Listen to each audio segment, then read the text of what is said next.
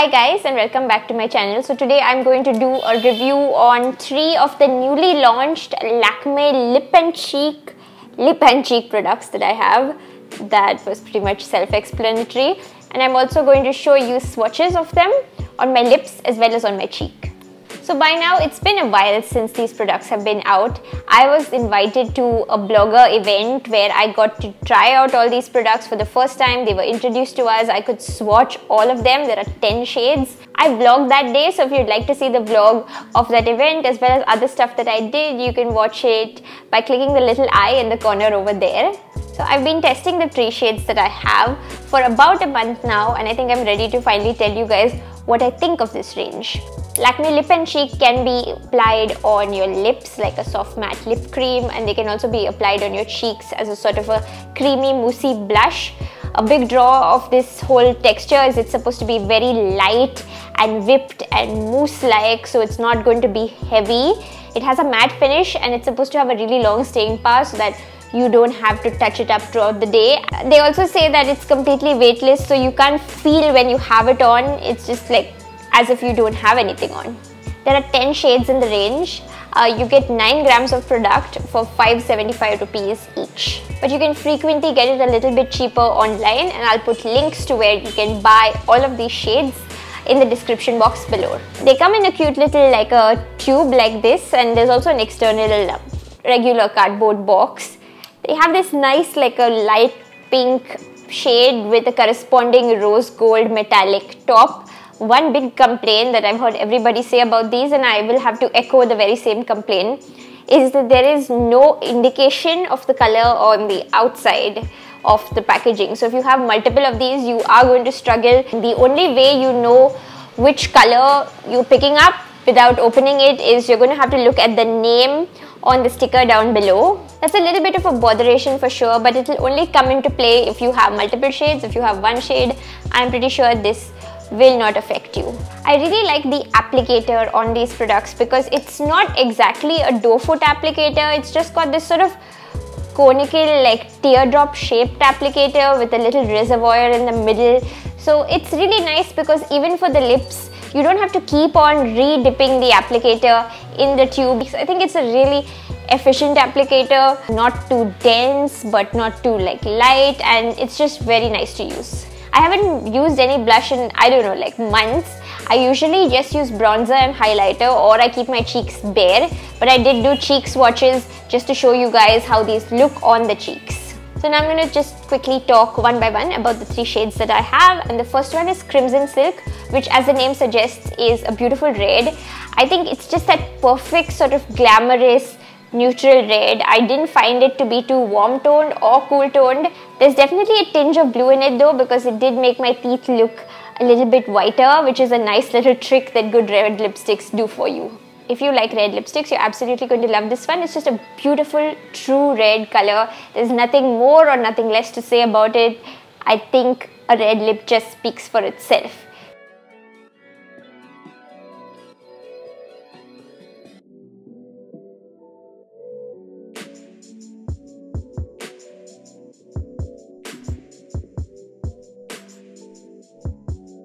Now I tried applying it on the cheek. Red can be a sort of a dicey color to put on your cheeks. Red blushes do exist, but I don't believe they're for every day. They're more like for an evening look or something because you have to balance out your makeup if you put on a red blush. So the first time I put it on, as you can see, I put too little and the camera is not picking up anything at all. And then the second time that I put it on, I just put on a little too much because I wanted to make sure that you can see how it looks on the cheeks but I know it's too much. You don't have to put as much as me. Just just gives you an idea of how you can apply it. Even though I have makeup brushes, I found that this product blends best on the cheeks with your fingers and the product can dry a little bit quickly. So if you're not confident with blending it quickly, I would suggest just putting it on one cheek first, dotting it on with the applicator and then blending it out, then putting it on the other cheek. Don't put it on both cheeks at the same time.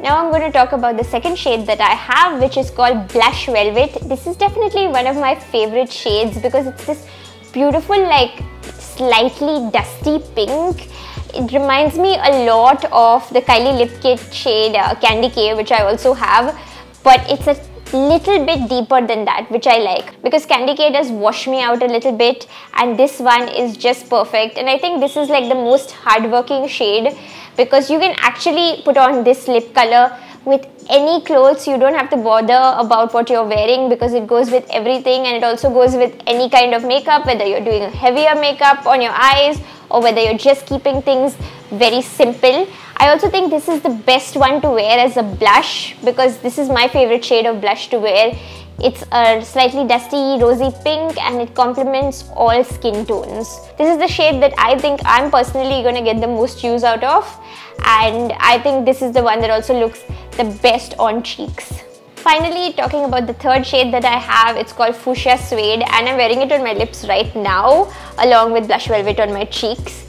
This has been one of my favorite lip colors to wear recently because I've really been wearing a lot of pink clothing. When I wear lighter pink clothes, I love wearing bright pink lipsticks. This is like a bright, slightly blue toned, almost Barbie pink. It applies nicely. Again, the pigmentation is excellent.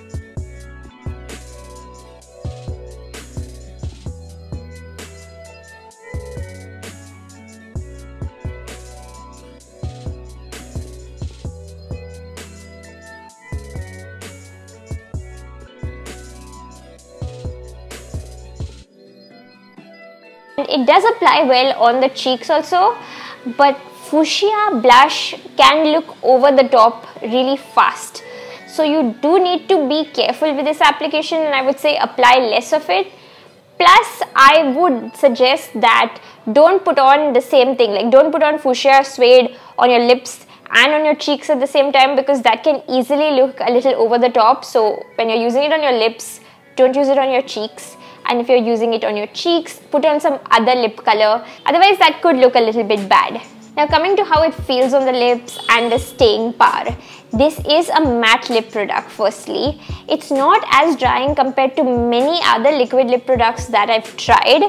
But at the same time when I used it the first time it was after a lot of non-stop travel and I hadn't been moisturizing my lips very well and my body was also really dehydrated so when I put it on that day, it didn't feel good on my lips.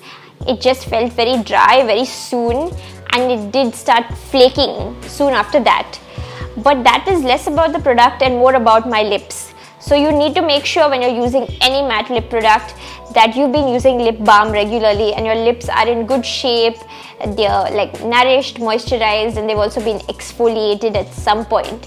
If your lips are already in a bad condition, this will not feel good on them and it will definitely make things a little bit worse. So you need to start out with a good canvas. Once I was a little bit more particular with wearing lip balm regularly and just making sure that my lips are in good shape, I really started to appreciate the lip and cheeks more because they do feel really nice and they do feel pretty weightless. Like right now I'm wearing this on my lips and I really can't tell that I'm wearing a lip product that much. It doesn't have that feeling of something like settled on my lips like a lot of matte products can have.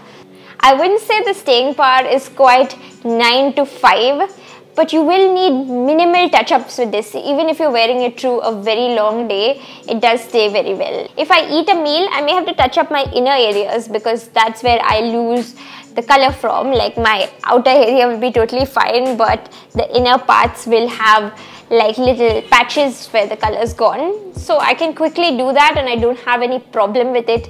But largely if I'm not eating and even if I'm spending many hours outside, I have like no problem with this lip color and it stays on. It's pretty hard working. So I love that I can just apply it and forget about it. This goes for both the lighter shade that I have as well as the darker shades.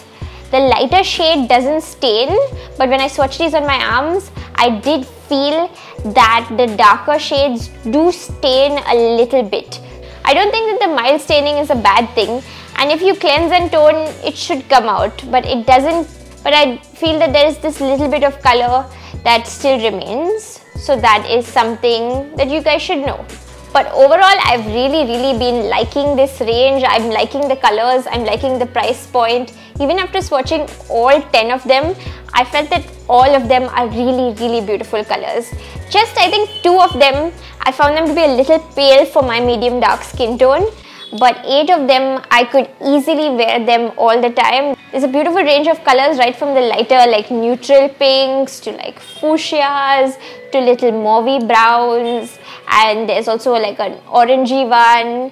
They're just very vast and very nice. I think Lakme has done a very good job with this launch and I like it and I would totally recommend it. So for those of you guys who have been waiting to hear what I think about these, I think they're super and I wouldn't mind getting a few more of these. I mean, I have too many lip products, but still, I really like these and these have been going everywhere with me.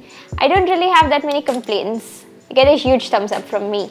If you have any questions about this range, leave a comment below and I would be happy to answer it. If you enjoyed this video, please give it a thumbs up and subscribe to my channel for more. Thanks for watching and I'll see you guys next time. Bye!